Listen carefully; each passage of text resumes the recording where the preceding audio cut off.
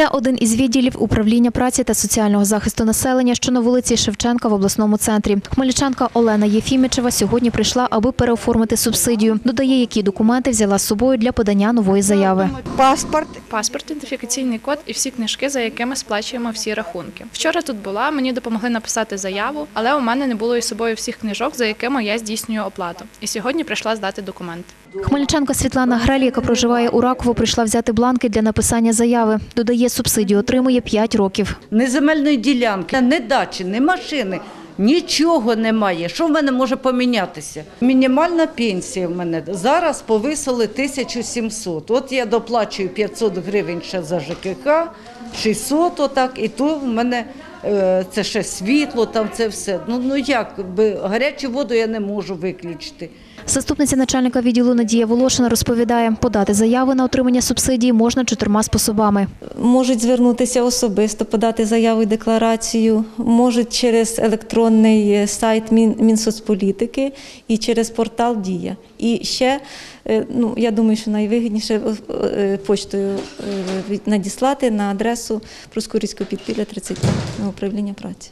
Наразі в онлайн-режимі не можна подати заяву та декларацію. Заступниця начальника управління праці та соціального захисту населення Євгенія Мельничук пояснює, чому. Допрацьовується ця програма, і ми надіємося, що ближчим часом все-таки вона буде працювати. Е, Якщо навіть станеться так, що е, що такої можливості не, не буде, е, потрібно відправити конверт поштою. Євгенія Мельничук розповідає про основні зміни житлових субсидій, які запровадили з травня. Житлова субсидія з 1 травня 2021 року буде призначатися у готівковій формі. Достатньо часу, що є необхідність відкрити соціальний рахунок банку для отримання такої готівки.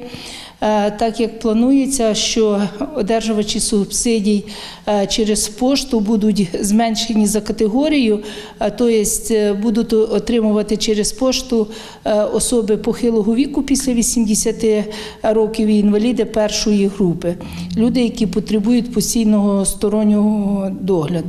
До основних змін можна внести те, що за рішенням уряду скасовано роботу комісії, е, яка призначала житлові субсидії. У 2021 році вели нововведення щодо осіб, які не мають права на отримання субсидії, додає Євгенія Мельничук. Це домогосподарства, в яких е, є перевищення житлової площі для квартир 130 квадратних метрів і для індивідуальної забудови 230. Якщо було придбання більше 50 тисяч е, товарів, робіт, е, послуг або е, сплата, наприклад, благодійної безповоротної допомоги, придбання валюти на суму більше 50 тисяч. Житлова субсидія не буде призначена також особам, які не працюють. Не призначається для осіб, які перебували більше 60 днів за кордоном. При наявності заборгованості за житлово-комунальні послуги, при наявності заборгованості за аліменти.